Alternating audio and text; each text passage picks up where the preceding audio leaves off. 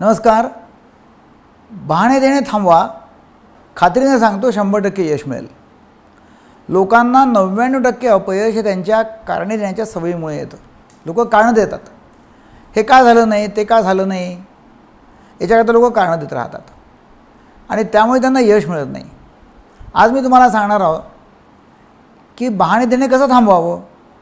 आणि यश यश कसं मिळवावं? आपल्या सर्वांचं स्वागत आहे. झेप या चॅनेलमध्ये. मी डॉक्टर दीपक केळकर मनोविकार सेक्सरोग संमोहन आणि व्यसनमुक्ती तज्ज्ञ महाराष्ट्रामध्ये अकोल्याला प्रॅक्टिस करतो आहे जर तुम्हाला तुमच्या स्वप्नांचं आयुष्य जगायचं असेल तर प्रत्येक ठिकाणी शंभर टक्के जबाबदारी घ्यावी लागेल. बहाणे देणे थांबवावे लागेल. तुम्ही ते का करू शकत नाही? तुम्ही आजपर्यंत का करू शकले नाही? याचे स्पष्टीकरण देणं थांबवावं लागेल आणि परिस्थितीला दोष देणे थांबवावं लागेल. तुम्हाला तुमच्यावरती असा विश्वास ठेवावा लागेल की आयुष्यात जे तुम्हाला पाहिजे आहे ते तुम्ही मिळवू शकता.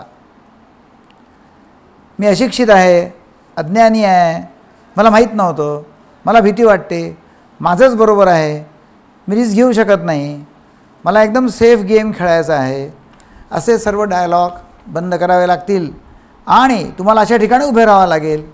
की आयुष्यामध्ये जे काही घडत आहे त्याला तुम्ही शंभर टक्के जबाबदार आहात.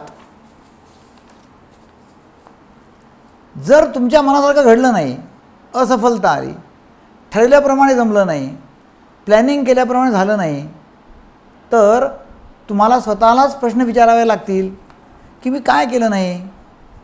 मी कसा विचार केला? मी कोणाच्या भरोश्यावरती होतो? मी काय करायला पाहिजे होतं? काय म्हणायला पाहिजे होतं? मी काय करायला नको होतं? काय म्हणायला पाहिजे नव्हतं? समोरच्याने जे केलं त्याकरता मी कसा कारणीभूत आहे? मी पुढल्या वेळा असं काय करू किंवा काय केलं पाहिजे की मला जे हवं आहे ते यश मिळेल? असे प्रश्न आपण स्वतःला जर विचारलेत तर आपल्याला कळेल की आपल्याला यश का मिळत नाही आणि त्याकरता मग तुम्ही काहीतरी करू शकाल. एक साधा सिंपल फॉर्म्युला तुम्हाला सांगतो मी. तो आहे घटना. अधिक प्रतिक्रिया इज इक्वल टू निकाल किंवा यश.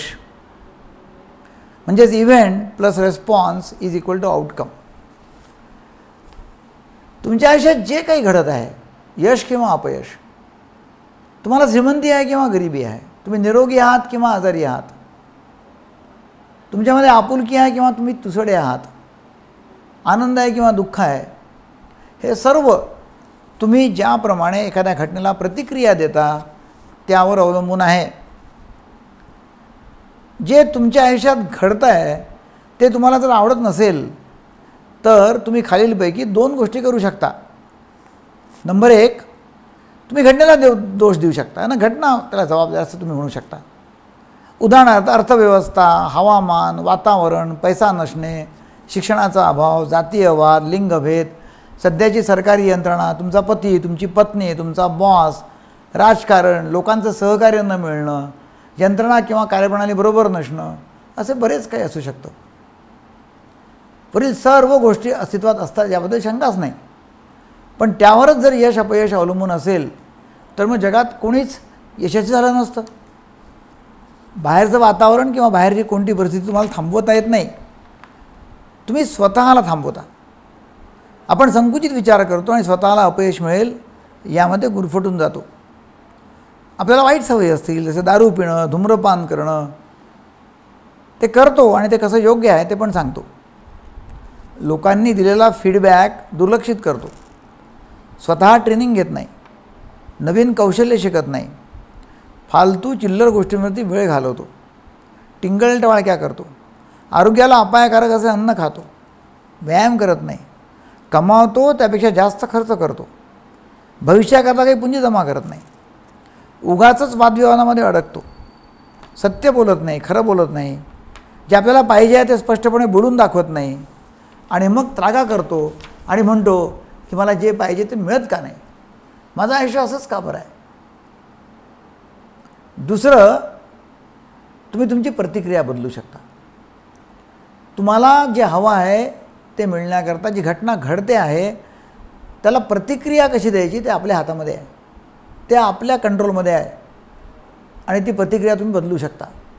तुमचे विचार बदलू शकता तुमचे संवाद बदलू शकता स्वप्रतिमा बदलू शकता वर्तणूक बदलू शकता कारण त्यावरच तुमचं नियंत्रण आहे.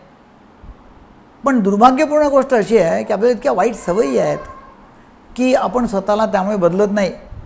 आपण आपल्या सवयीमध्ये गुरफटून राहतो. आपण आपल्या सवयीचे गुलाम असतो. आणि सवयीनेच आपले आयुष्य यंत्रवत जगत असतो. तुम्हाला तुमच्या विचारांवर मनातील रंगलेल्या चित्रांवर स्वप्नांवर आणि वर्तणुकीवर कंट्रोल करावं लागेल. जे तुम्ही करता आहात जे तुम्ही बोलता आहात जो तुम्ही विचार करता आहात त्या प्रत्येक ठिकाणी काहीतरी उद्देश असला पाहिजे. ध्येय असलं पाहिजे. काय साध्य करायचं ते स्पष्ट असलं पाहिजे. तर मग तुम्हाला जे आहे ते मिळेल. तर आजपासून कोणत्याही ठिकाणी बहाणे देणे थांबवा. प्रतिक्रिया काय द्यायची ती तुम्ही ठरवा. तो चॉईस तुम्ही करायचा आहे. तुम्ही हे जर कराल तर तुम्हाला प्रत्येक ठिकाणी यश मिळाल्याशिवाय राहणार नाही. तुम्हाला जर हा व्हिडिओ आवडला असेल तर त्याला नक्कीच लाईक करा सबस्क्राईब करा आणि सबस्क्राईब केल्यावर बेलचं चित्र येतं त्यावरती पण क्लिक करा. म्हणजे तुम्हाला माझे व्हिडिओ सर्वात अगोदर मिळतील. हा व्हिडिओ तुमच्या व्हॉट्सॲप ग्रुपवर फेसबुकच्या ग्रुपवर फेसबुकच्या वॉलवर सगळीकडे शेअर करा. म्हणजे तुम्हाला तर फायदा होईलच पण तुमच्या मित्रांना पण फायदा होईल. तर मग थँक्यू व्हेरी मच हा व्हिडिओ पाहिल्याबद्दल धन्यवाद. God bless you thank you